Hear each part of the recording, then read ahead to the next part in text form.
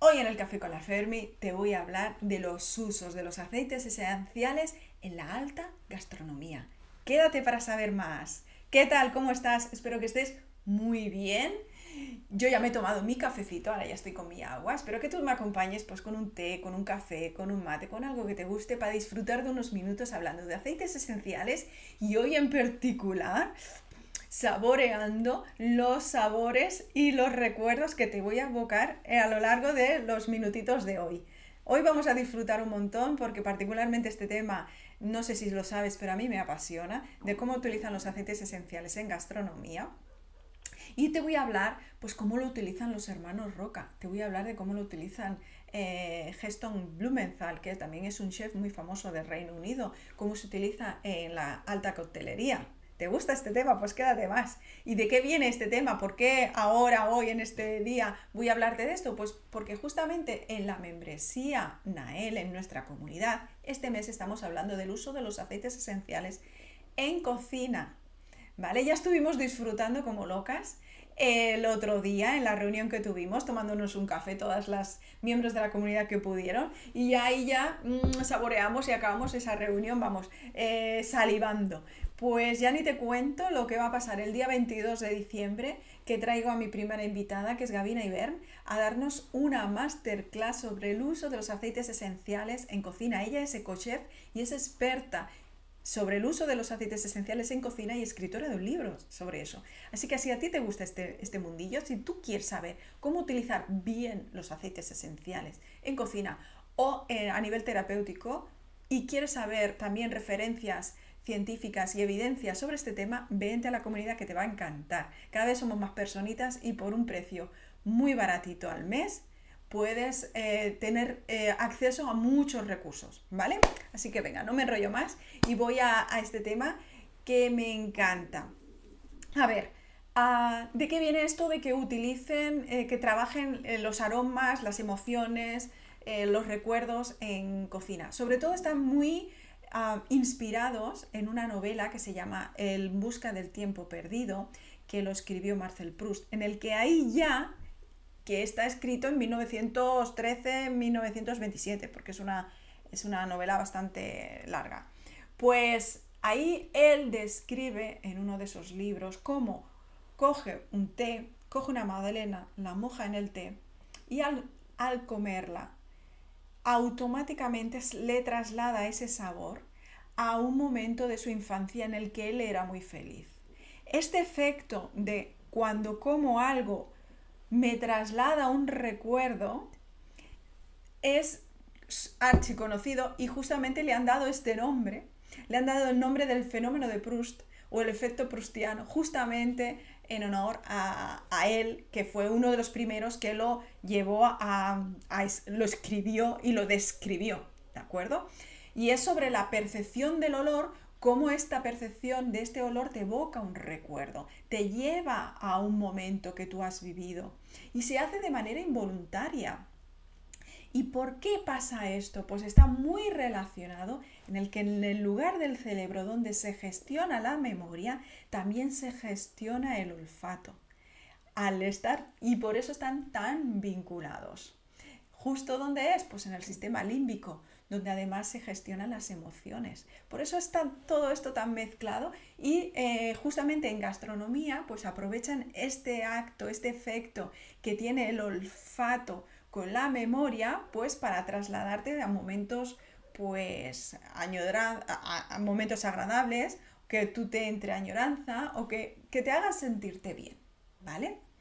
¿Y cómo utilizan estos superpoderes de estas moléculas aromáticas eh, mis queridísimos chefs que trabajan en el mundo gastronómico?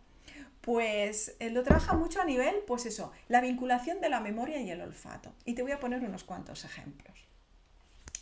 Eh, los hermanos Roca, mm, mi maestro Joan Roca.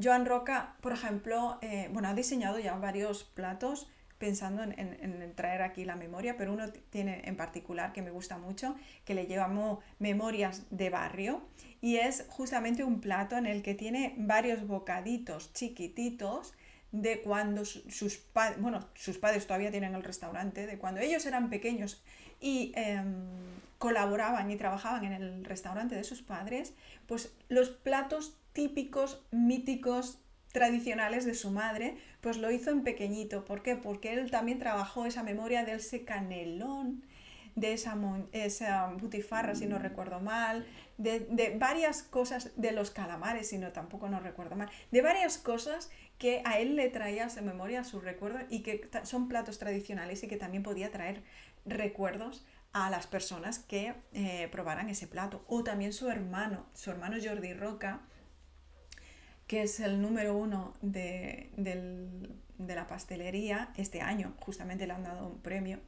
pues él también en su momento eh, jugó con el tema de los aromas y de los recuerdos y creó un, bueno, creó un perfume, un perfume, cogiendo los aromas del perfume y los trasladó a un, postre. O también hizo el gol de Messi, el gol de Messi eh, recreando un gol que hizo mítico en el Barça y entonces era como una especie de, de plato con un fondo verde que parecía césped en el cual había diferentes eh, postres y te los tenías que ir comiendo en un orden concreto. Y él lo que hizo fue, en ese césped, aplicar aroma césped para que la gente lo, llevara al campo de fútbol. ¿Vale? Como más también trabaja en el tema de la memoria. La memoria, otro gran chef que tenemos aquí en España, que es Quique da Costa. No sé si habéis visto en, en Prime, pero tiene una, una especie de documental, serie documental que me encanta, que se llama Una vida, una cena, en el que invita a una persona, una persona conocida, y en el que durante una cena le recrea diferentes momentos de su vida. Y entonces se inspira en, en, en, elementos que le traigan a la memoria y esas emociones a la persona mientras lo esté comiendo que le lleve a ese momento de su vida. Es exquisito y es súper sensible. Ese, ese, bueno, me encanta esa serie. Cómo lo trabaja todo y con qué gusto lo hace todo. También, ¿quién más? Bueno, Heston Blumenthal, que es el chef también que te comentaba de Reino Unido, que tiene un, también es un, tiene un restaurante con tres estrellas Michelin. Y él, por ejemplo, trabaja mucho el tema de los aromas. Te pongo un ejemplo. Y es, por ejemplo, que en uno de esos platos ah, mm, trabaja mucho el aroma, la sorpresa, ¿vale? Y lo que hizo fue recrear una tienda, eh, bueno, con gafas con realidad virtual, ¿vale? Eh, una tienda de chuches típica y en el que en ese momento la persona olía olor a chuches mientras veía esa, ese, ese momento, esa, esa, esa, película y se trasladaba a través de, de una tienda virtual de, de chuches para llevarlo a la infancia, para que le venga recuerdos bonitos y para que luego pudiera disfrutar el siguiente plato, pues con otro estado anímico mucho más abierto, mucho más em, añoranza, con esa infancia traída aquí y que pues, le llevara una experiencia también inolvidable. Fijaros de cuántas maneras distintas se puede trabajar el tema del olfato, el tema de memoria en la gastronomía. ¿Vale? Pues hasta ahora te he estado hablando más o menos de eh, cómo se trabaja el olfato. Pues ahora te voy a hablar de las moléculas aromáticas y de nuestros queridos aceites esenciales. También te voy a poner varios ejemplos. Sobre todo, ¿por qué utilizan los aceites esenciales en la alta gastronomía? Pues por ejemplo, para crear sabores distintos, para llevar su creatividad a un lugar especial. ¿Vale? Por ejemplo, eh, Blumenthal, el mismo chef que te comentaba de Reino Unido, pues quiso introducir aceite esencial de pino en, su, en uno de sus platos. Pero ¿qué pasa? Que ese olor a mucha gente le llevaba a, no a la comida, sino a recuerdos de productos de limpieza o ambientadores. Y entonces jugó un poco con esto, dijo así, bueno, pues voy a hacer algo antes para que a la gente se le olvide que le traiga un recuerdo de producto de, de limpieza y entonces hizo un juego con un sorbete de vainilla con aroma pino que sea de dipear para que se lo pase bien, para que rompa ese, esa memoria y para que le traiga a la persona en estado anímico divertido, porque luego probaba una crema de mango con aroma pino que estaba muy buena. Y entonces haciendo este juego primero de la vainilla con aroma pino, pues entraba mucho mejor la persona percibía mucho mejor esta mezcla de aromas distintos como mango y pino, ¿vale? O, por ejemplo, también ya a nivel en la coctelería hay una mujer que se llama Sigrid Scott que ella también jugaba mucho con los aceites esenciales para crear aromas y sabores distintos. Por ejemplo, hizo toda una línea de, de cócteles inspirados en, en, unas obras de arte de Bansky. Bueno, pues en, estas, en estos distintos cócteles utilizó, por ejemplo, aceite esencial de geranio, pues para un cóctel que le llamaba Colorful Pain, o eh, Ilan Ilan también en otro, en otro mm, cóctel para que era, estaba inspirado en una obra de arte que era sobre una bailarina, ¿no? Y, y utilizaba mucho los sprays en su caso. O también otra persona, otra mujer, que es Evelyn Wild, espero decir bien su nombre, Evelyn Wild, que ella trabaja en la pastelería superior.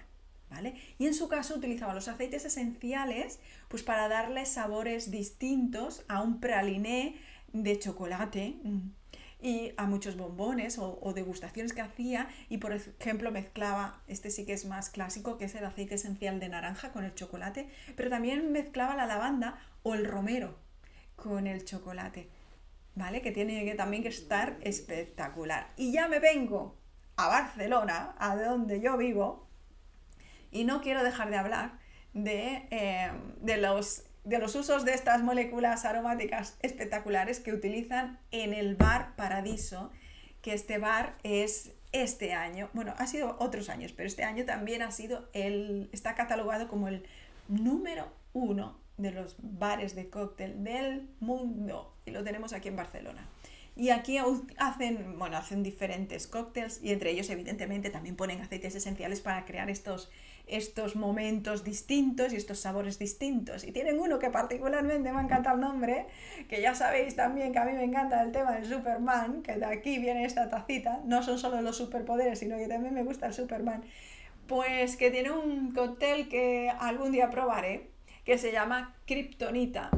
Y Kryptonita lleva, entre todos esos ingredientes, le han puesto aceite esencial de lima de kafir, que es una lima especial asiática. ¿Vale? Entonces le, añaden aceite esencial de lima de kafir.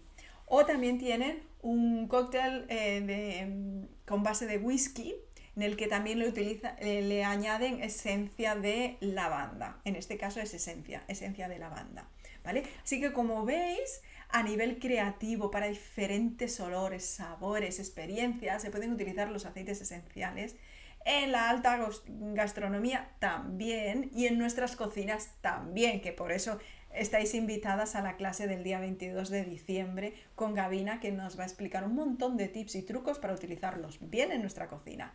Pero bueno, ya habéis visto cuántas utiliza, eh, cuántos eh, momentos se pueden utilizar en la gastronomía, en la alta gastronomía, pero no me quiero dejar mm, también otro, otro momento en el que utilizan los aromas de una manera muy creativa y que lo diseñó eh, otro gran maestro mío que se llama François Sartier, que fue una carta aromática. La, es, es, preciosa esa carta y es, consta de siete botecitos, ¿vale? Con siete aromas distintos en el que la persona tenía que oler y elegir cuáles eran sus aromas preferentes, cuáles eran los que más le gustaban. Y en función de el gusto de esa persona, se elegía el vino y también se, se podía incluso elegir el menú. También habían indicaciones en el menú de si te gusta este, este número de aroma, pues este con este, con este plato, con este plato, combina muy bien ese aroma de este y con este vino, con este, con este vino. Bueno, tiene que ser esta experiencia también súper bonita, espectacular. No me diréis que solo pensar en estas cosas no saliváis. Yo por lo menos lo hago, ¿vale? Así que ya habéis visto, mis queridísimas moléculas aromáticas también están en la gastronomía, en la alta gastronomía. Tengo la gran suerte también de ahora ser profesora de neurogastronomía.